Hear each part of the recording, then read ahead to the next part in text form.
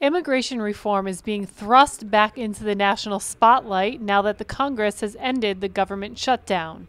The Senate passed a comprehensive immigration reform bill in June, but now it needs to pass through the House of Representatives before it can be implemented.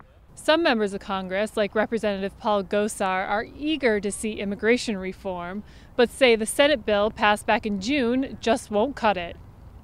I personally don't see a chance for the Senate bill at all. It's a very, very bad bill. Gosar suggests introducing smaller piecemeal bills to go through the House rather than the Senate bill. Smaller bills, you know, understand what you're dealing with, keep them germane, and under, keep them simple so that you have that discussion with the American public. For some House Democrats, that is not an option. There is a problem with comprehensive immigration reform, and we know what it is the idea that that same party who cannot pass anything out is now piecemeal going to do this is a fallacy. Laura Vasquez of the National Council of La Raza is calling on Speaker of the House John Boehner to push this legislation through. And the votes are there, so it's up to Speaker Boehner to just get this on the floor and move it forward. And we are hopeful that he will do that.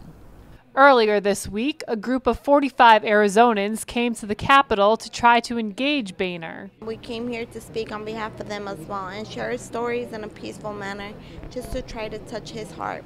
Nancy's mother was deported back to Mexico four years ago. It's not just my family, it's not just my sisters who are not living with their mother. It's a lot of kids, a lot of kids that get their dad and their mom get deported. As a member of the DREAM Act, Nancy is undocumented and therefore wouldn't be able to get back into the country if she left to visit her mother. They all went together as a family. I wasn't able to go and see her.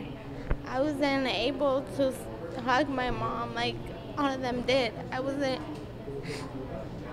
I'm sorry. It's just truly hard. The need for immigration reform is something that I think is felt across the country in districts um, where um, members of Congress understand that something needs to be done. Gosar agrees that something needs to be done about immigration. He also wants to make sure it's done lawfully. Yeah, civil society upholds the rule of law. It's, it's nobody is uh, is above it. Everybody is subject to it. Piecemeal bills or one big comprehensive bill, either way, they all agree this country needs immigration reform. For WashingtonExaminer.com, I'm Lisa Ruhl.